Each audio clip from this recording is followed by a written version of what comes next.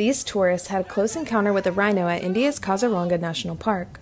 The group screamed as the rhino came closer and closer to the safari jeep. It reportedly chased them for over a mile and a half before disappearing into the bush.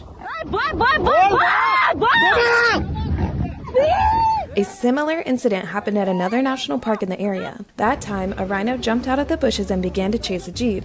According to experts, the animals may have been agitated by continuous human movement in the forest.